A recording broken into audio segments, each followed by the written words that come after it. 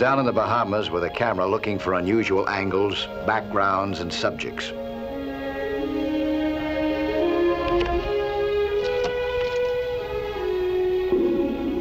Some were a little shy, but my luck had been good.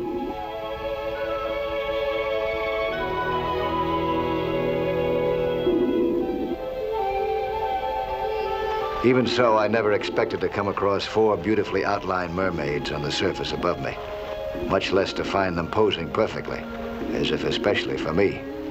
It looked exceptionally good from my underwater angle, so I got busy with my camera.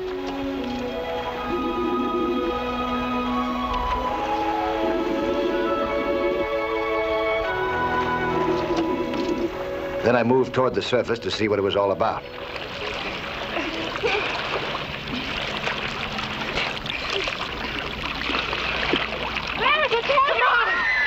Suddenly, my mermaids were swimming away from me, as if they'd seen a shark. It was a very strange change. What I hadn't realized was that they had seen a shark, me. And I was about to become tangled up in a brand new form of galloping grief. Four well-shaped charges of exploding dynamite.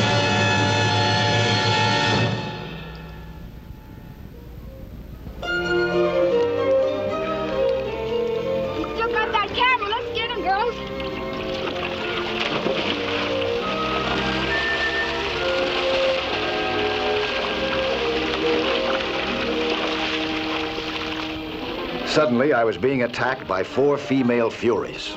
They swarmed all over me. One was tugging at my camera, another was pulling on my face mask, another had my mouthpiece. I didn't know what had hit me, or why. I couldn't very well fight back and remain a gentleman, or uh, even get a grip on the situation.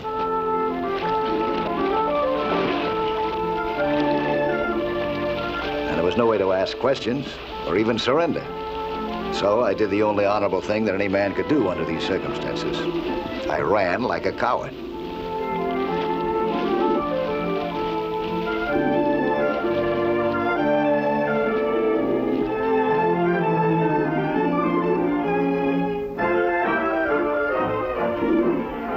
But now I had to find out what this was all about. My curiosity got the better of my caution. I swam back toward their boat. I've had a lot of dirty tricks pulled on me in my life, but this one really takes the cake. Well, he's got to come up sometime. We can just follow his bubbles, maybe. There are some bubbles right there. Oh, there you are, you thief.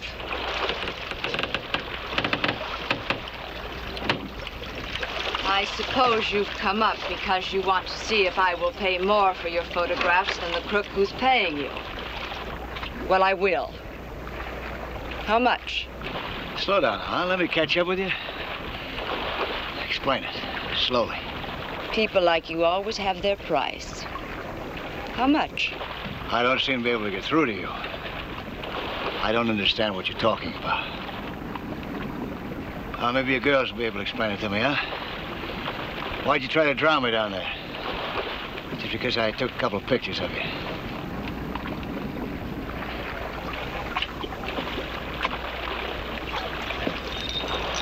Perhaps it's possible that we've made a mistake. If we have, we owe you an apology. These girls are professional models. I design swimsuits. Our company makes them. Mr. Boothby here is photographing them for me. If our competitors can steal our styles before we can put them on the market, they can drive a $2 million corporation right out of business. Oh, that's it, huh? That's why you girls uh, got a little rough with me down there, huh?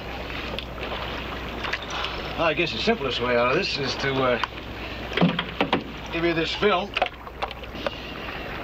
You can get it developed and uh, keep the shots that I took of the girls. If you don't mind, though, I would like the uh, rest of the roll back. Fair enough? Fair enough. Well, Mr. Nelson. nice to see you again. Come on in, girls. Hi. Ah, this is a real pleasure. Hi. I brought your pictures back, just as I promised. Oh, that's very nice of you. Thanks a lot. Uh, sit down, huh? I want to take a look at these. How they look? Oh, the ones of my girls are just enchanting. I never realized that underwater anything could be that beautiful. Well, those were my sentiments exactly. That's why I took the pictures of them. Well, your pictures have given me an entirely new concept. I want to switch our entire advertising campaign, pivot it around underwater photographs. That's a good idea. It's very unusual. And I want you to take them for me. Now, slow down. You're going a little too fast for me again. Our swimsuits have never looked better. What about the photographer you already have? Oh, I'll have other assignments for Mr. Boothby. But on this one, I need you. Oh, that's very nice. of you. I'd like to, but uh, oh, I got other plans. I, I don't see how. Oh, I... please, Mr. Please Nelson. say yes. You, uh, you'll be the models, huh? Underwater models. Sure. You going on the water? And I'll need you to, you know, teach them how to use those tanks and things you wear. Well, I, uh, I could change my plans.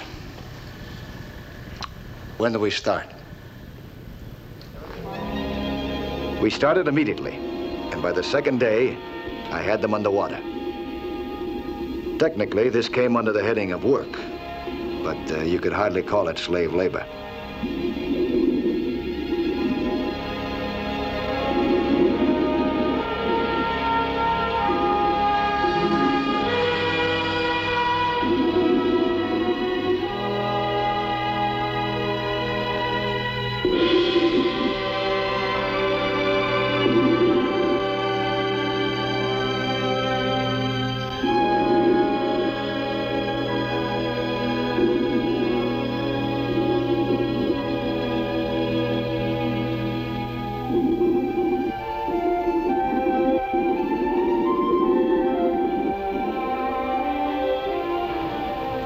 Inez had to leave, Wanda was still right there, waiting for a little more instruction.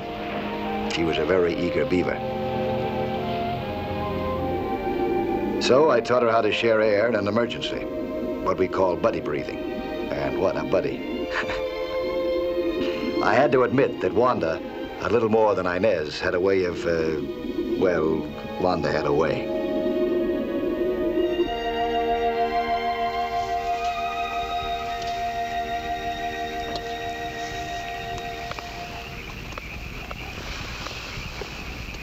That's so you know who you really belong to. You don't think I want to kiss anyone else, do you? Well, you better not. You really think you've softened him up? Believe me. Good, because I've got to do something soon. Richard Realis is getting mighty anxious about those pictures. And he's not a man to keep waiting.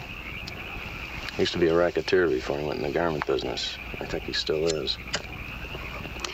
Honey, do you think it's worth it? Well, whether it is or not, I'm committed for $10,000. He's already paid me five. Well, you're a skin diver. I don't see why you just couldn't tell Edie that you could go down and take the underwater pictures, too. I did, but she wanted Mike Nelson. I just couldn't change her mind. Oh. Well, whatever you decide to do, darling, be careful. I will. With your help, it shouldn't be too difficult. Next day, I started with Wanda and Inez on our first series of underwater photographs.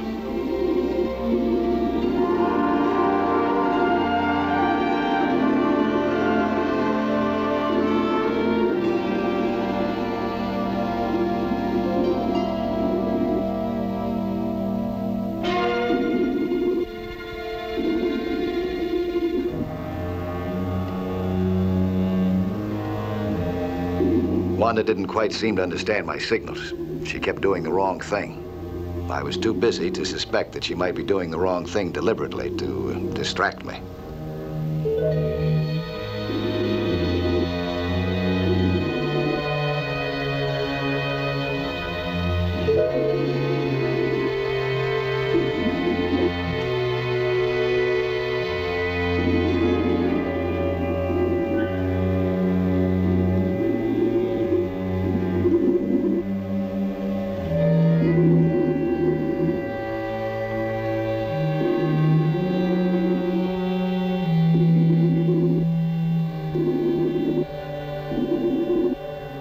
In the distance, a swimmer was disappearing fast.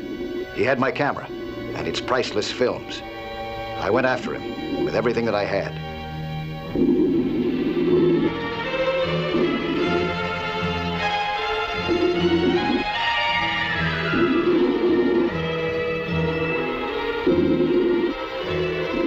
Despite his long lead, I began to close in on him. He realized that I was overtaking him and released the camera.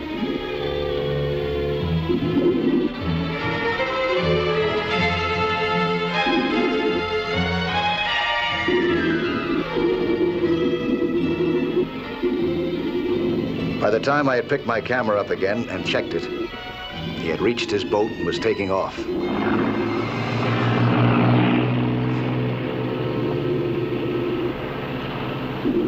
He had gotten safely away, but he had put me on notice. Somebody was willing to play rough to get those pictures. Somebody who probably was ready to play much rougher, if he had to.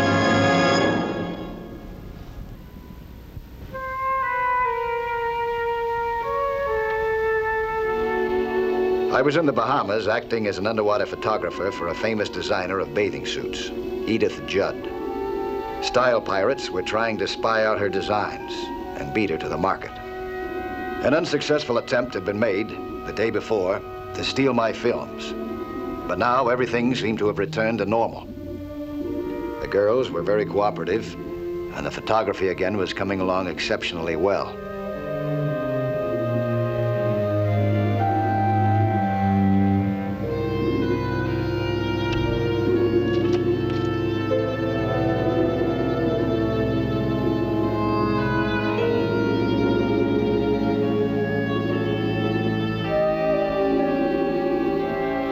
One fact kept bothering me. Only two other people, beside Edith and myself, had known where we would be working the day before, Wanda and Inez. It seemed hard to believe that either one of them would sell us out. But now I was almost certain that one of them had.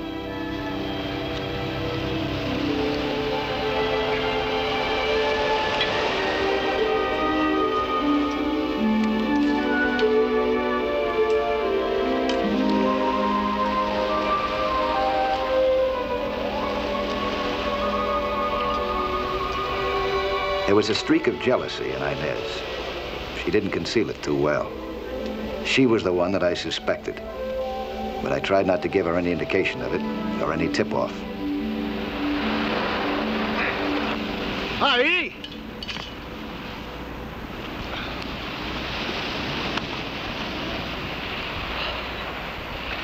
Oh, something wrong? You tell me, Mr. Nelson. Here's your mail. The hotel sent it down with mine. I'd like an explanation of that little package. It was returned because you didn't put enough stamps on it. Well, I'm waiting for your explanation Of what? of that name and address, of why a package of film should be going from you to Mr. Richard Relis, my esteemed competitor. I don't know Mr. Richard Relis. I didn't send this. Oh, don't try to cover up, Mr. Nelson. They're obviously pictures you've been taking for me. Well, it is your name and return address right there in the corner. That's my name, but that's not my printing. I didn't put that. You're making a big mistake. Oh, no. I made my mistake when I dropped Alex Boothby, a man who's been working with me for years. And as of tomorrow, Alex is taking over again. And as of right now, Mr. Nelson, your services are terminated.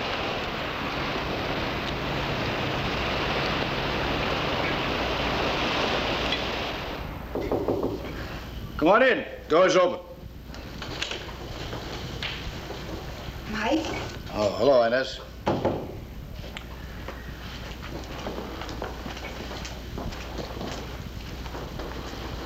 Mike, I. Well, I. I just wanted you to know that I think Edith is being very impulsive and very foolish. Thank you. I agree.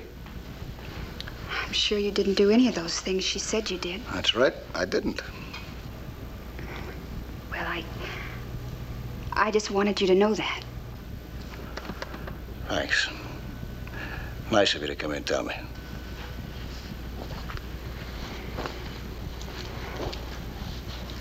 Oh, Mike, I wish you weren't leaving.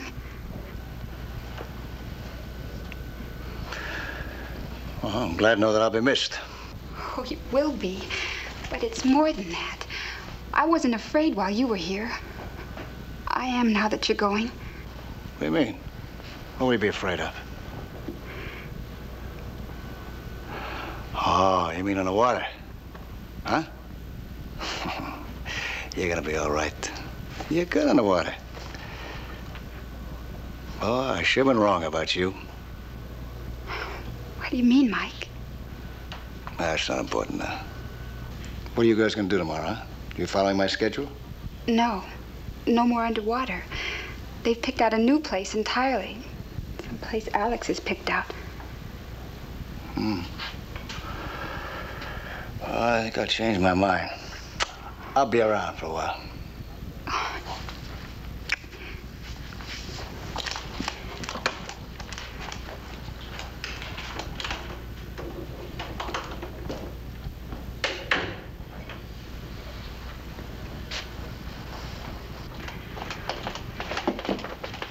Hello, dear. Hello. Been to see Mike Nelson? Yes. Nothing personal, I hope. That's really my business, isn't it? I hope it was yours, not mine. And if it wasn't, you could be a very unhappy girl.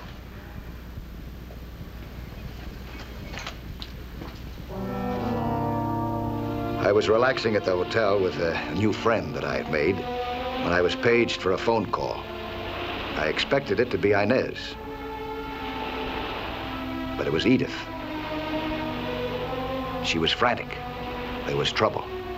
She wanted my help quickly. Boothby had selected a place called Beauville Rock and the caves within it as a photographic background. The moment I heard Beauville Rock, I knew what the trouble must be. This was the wrong time of year for Beauville Rock. At low tide, the rock looked okay to anyone who didn't know it. But at high tide, it became a raging death trap. At least twice a year, unwary people were marooned out on the rock. And several had been swept to their deaths by the high waves and raging tides. When I hit the beach, I needed only one look to tell me that my fears were well-founded. For Boothby to send anybody out onto Beauville Rock to pose was nothing but a cleverly concealed form of murder.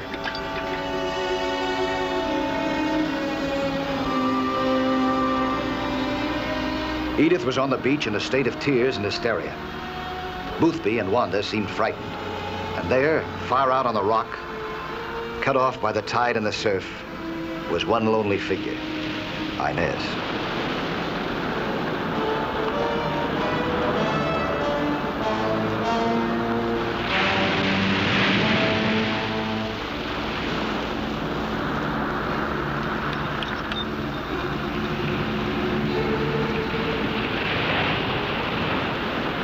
Gotten to know Beauville Rock very well when I was searching for an old Spanish treasure ship. I had never tried to reach it in conditions like this. But many times you can move underwater when it would be impossible to survive up above.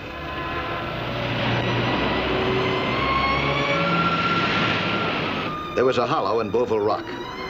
If I could ride the tides into that hollow, I might be able to reach Inez.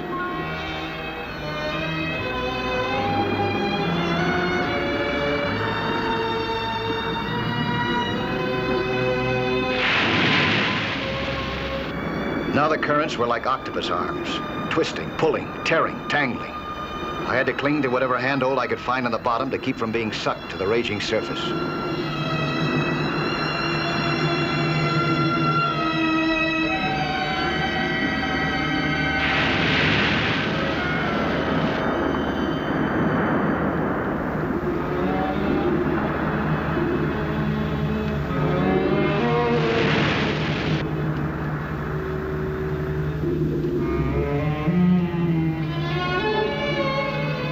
And then I was behind the main rocks, into the hollow, and quieter waters.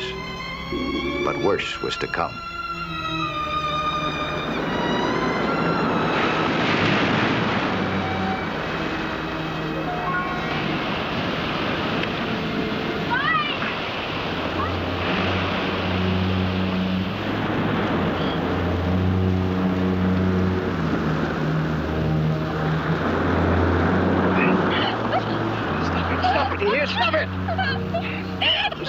To get back to shore, don't you? Huh? Don't you? Yes, yes. Then get a hold of yourself.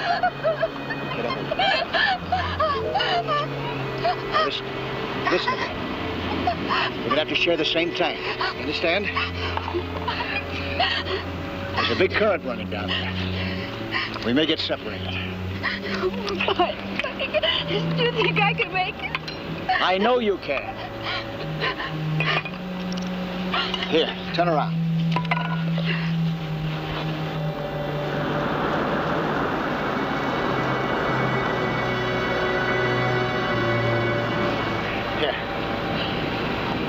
Forget.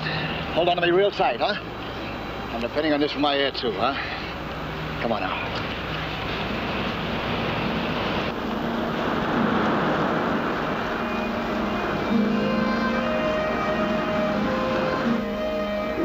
Getting in myself had been tough enough. Getting back with her would take everything that either of us had.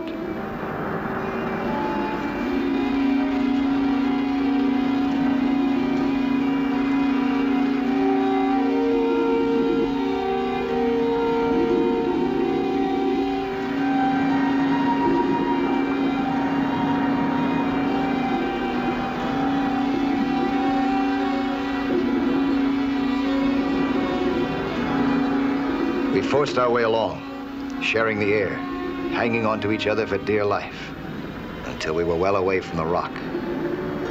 Then we fought our way along the bottom.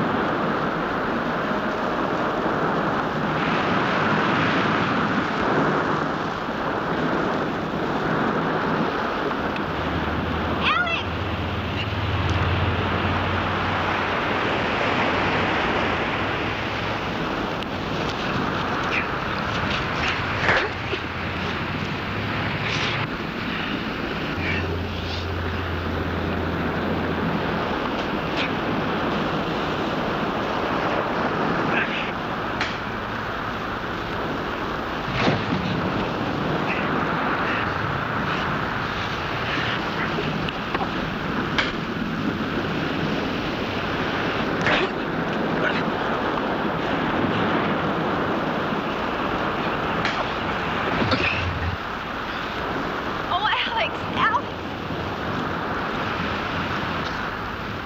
Mike, are you all right? Why was he trying to kill you? Huh? No, I. I guess he was afraid I'd tell what I knew about him. About what?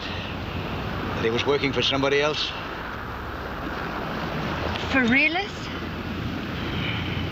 Well, why didn't you tell me this before? I wasn't sure at first, and then.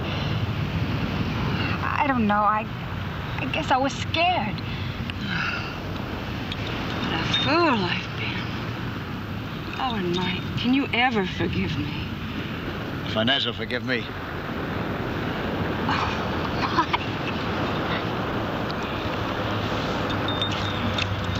Oh, I got some unfinished business over here. I'll see you later.